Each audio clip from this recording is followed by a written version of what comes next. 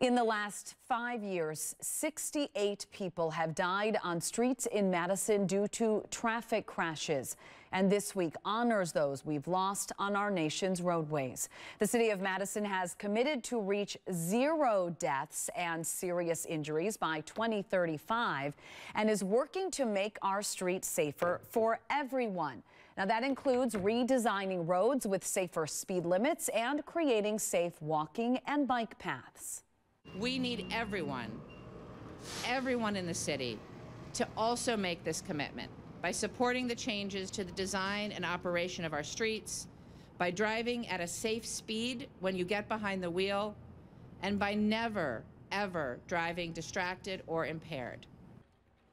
The World Day of Remembrance started back in 2005, honoring those killed on roads each year and organizing for change to prevent tragedies.